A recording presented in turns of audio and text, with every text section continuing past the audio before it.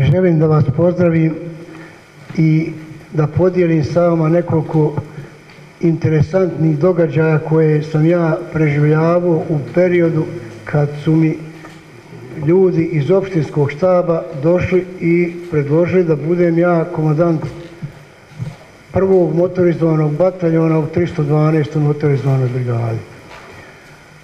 Ja sam se iznenadio u prvi čas i čitao vrijeme i odgovarao, nemojte ljudi, ja nisam kursiran za komandanta bataljona, jesam ja bio kapetan prve klase, jesam proveo puno vremena na vojnim vježbama, ali ovaj dio mi je bio ovaj stran i nisam. U toku, u toku rata ja sam bio pomoćnik komandanta prvog travničkog odreda i obavljao neke druge zadatke.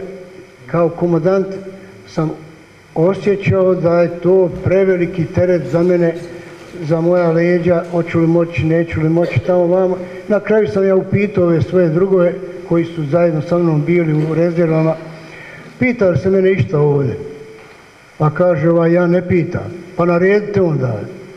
I naređuju, naređuju oni meni, preuzimaš prvi bataljon, tako ja uđem u kancelariju majora Petrovića.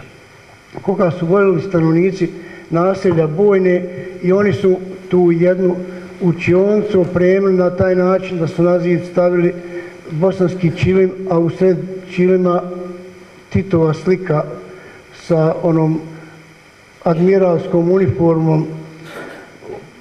Ostala oprema ovaj, sobe je bila pripremljena tako da može boraviti tu koliko mu je potrebno. I okretuo sam se okolo, gledao, pa zar sam ja dospio do, te, do tog nivoa da ja mogu majora Petrovića zamijeniti. I tako sam se borio malo sam sa sobom šta bi, kako bi, ne daj Bože da me sad kakva sila obuzme jer sam sad komandant silnoga bataljona, to je preko 700 boraca. I u neko doba ovako predmrak ovaj, čujem neku galamu u hodniku pozorišta Travničku u kome je bila komanda tog ovaj, majora Petrovića, a onda moja. Pitam šta se dešava, kaže došli su pripadnici ovaj, mudričke jedinice i neće na teren. A u, pola sata prije toga ja shvatim da sam trebao poslati jedinicu na smjeru. Pošto sam se ja izgubio pa tražio sam sebe, onda sam tražio i jedinicu, poručio i došli su ti borci, ali neće na teren. Što nećete na teren?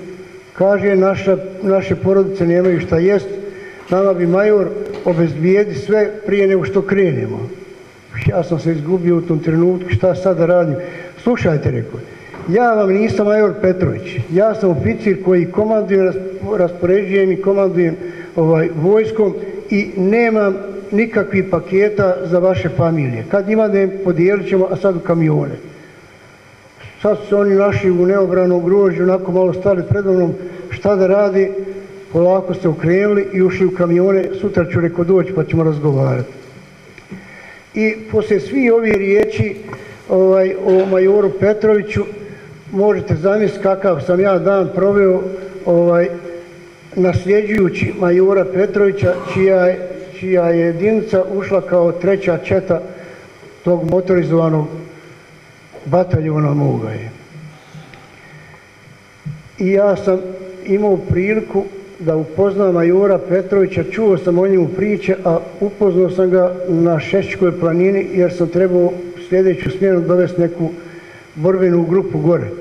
On me ovaj, provodio po položajima, pokazao mi gdje su ovaj, zone odgovornosti, šta trebam raditi, na što obratiti pažnju i tako dalje.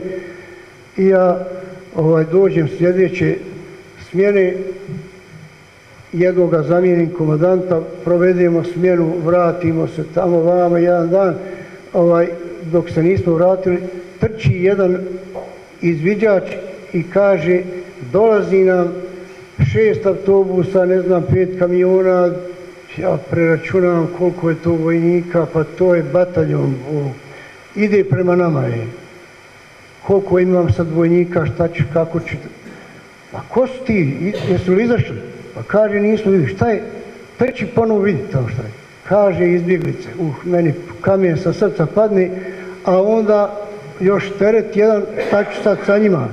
Sad će oni proći ispod nas, da ih privati, da ih zbrini, da ih prebaci do travnika i tako dalje.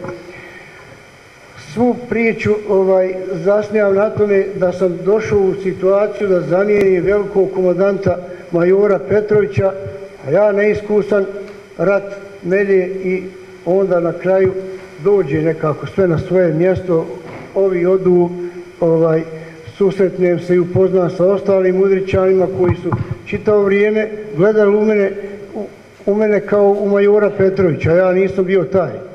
Ja sam bio ovaj sasvim drugi oficir koji ovaj, komanduje jedinicom i otprilike sam imao toliko da kažem o mome utisku i mom doživljaju majora Petrovića.